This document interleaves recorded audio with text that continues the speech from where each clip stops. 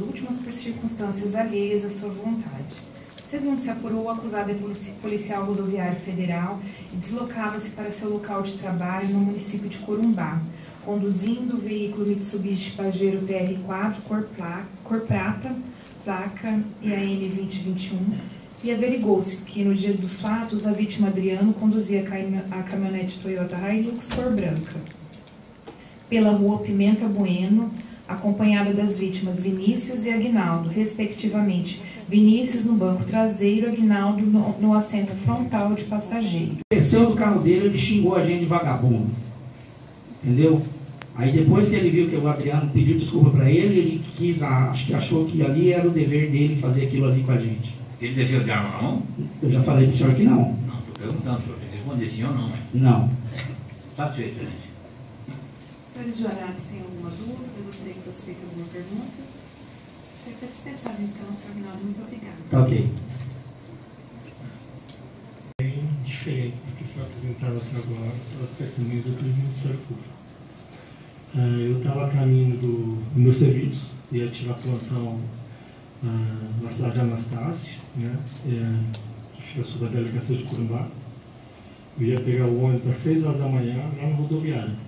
Eu saí de casa por volta das 5 e meia mais ou menos. Ah, ele estava deslocando na, na, naquela, na Benas em direção à rodoviária.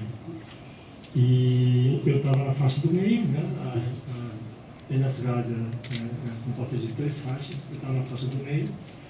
E, e ao, ao cima da Pimenta Buano, que é, que é uma, que é perpendicular, né, na, na, na Galho, essa Hilux, é conduzida pelo Adriano, é, desrespeitando o sinal de pare, já adentrou em alta velocidade a, a, a Enes Tá? Ele cruzou a faixa da direita do meio e acabou parando na, na Eu já estava tomando minhas procedimentos, tomando, anotando, a, tentando tirar a foto da placa para poder localizar ele, passar para então, o senhor deixaria ele, ele deixar o. É, ele teria permitido Diante das circunstâncias, ele deixaria o local e o senhor apenas anotaria a placa? Sim, porque não tinha muito o que eu fazer, desnatagem numérica, pessoa, pessoa desobediente. Não tinha o que fazer, eu não conseguiria parar o carro com as próprias mãos. Certo. Né? Uma outra dúvida que eu fiquei: o maior risco seria embriaguez ao volante, né? E os acompanhantes não ofereciam esse risco. Nesse momento que eles desceram do carro, como eles também corriam risco de perigo em face do, da embria, né, do deslocamento de uma pessoa embriagada ao volante, uhum. o senhor também não pensou é, que o melhor seria, depois que eles desceram, permanecer mesmo fora do carro? Sim, mas eu não dei. Uma coisa que você tem que entender: eu não dei ordem de sair, nem dei ordem de entrar. Isso, então, mas quando eles saíram, o senhor não pensou em falar assim, ó, se mantém, o senhor falava assim, mantenha distante de mim. Uhum. Mas o senhor, como estava agindo como céu, o senhor também pensou assim, é, deita do lado, fica do lado, não retorna para o veículo, tem uma situação de embriaguez. Joga para ver se ela consegue agarrar, a pessoa, mais das vezes, não consegue agarrar, é muito rápido.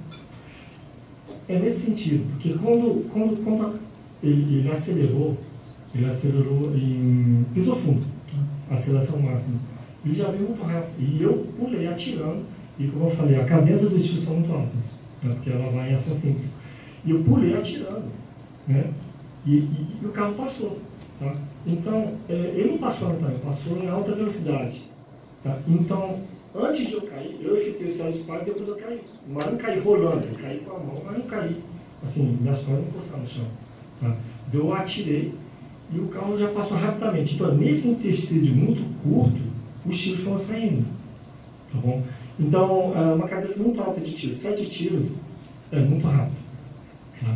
Então, é, é que nem aquela brincadeira da caneta, tenta segurar. Tá? Ah, antes mesmo de eu, eu, eu, perceber que eu poderia parar, o carro já veio e já recebeu os tiros. Tá? Outra coisa, a dinâmica, ah, os tiros aqui no para-brisa, é, eu comprovo que estava à frente do carro. O máximo que o pessoal faz que ah, tá um pouco para um pouco mais para para a esquerda lá do motorista, eu sou destro. Se eu estava no meio do carro tentando tirar foto da placa, eu estava na frente do carro. E eu sou dessa, então eu atiro com uma mão só. Então, claro que a distância do meu ombro vai deslocar um pouquinho o ponto de impacto para o lado do motorista. Se eu fosse canhoto, os tiros acabaram pegando mais para o meio. Essa é a dinâmica. É, mas se o senhor tivesse na diagonal, esses tiros também seriam possíveis de atingir o para-brisa. Se o carro tivesse parado, são eu parado. duas, é, são duas versões possíveis, né? As regras de procedimento de qualquer polícia é, de trânsito. O primeiro procedimento, quando o senhor suspeita de embriaguez, não é pedir a pessoa que desça do veículo? Bem, se eles forem obedientes, sim. Desliga o carro, desce do veículo. Mas o senhor não pediu? Eu estava naquele momento com as mãos cheias, tentando controlar uma situação muito, muito hostil e quase saindo fora do controle. Eu não vislumbro aonde que impediria o senhor lhe pedir a ele que descesse do veículo Bem, se eles não acataram a ordem de Mas as mãos- tudo bem. É, no decorrer dessa, desse fato,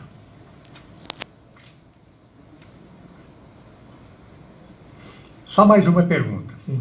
Quando o senhor disparou, o senhor estava na frente da caminhonete, tá? a caminhonete, segundo a sua versão, a caminhonete arrancou na sua direção, o senhor saltou do lado tá? e, e começou a disparar. Não. Não? Foi praticamente simultâneo o disparo e o pulo. Simultâneo, mas o senhor já estava do lado, senão seria atropelado.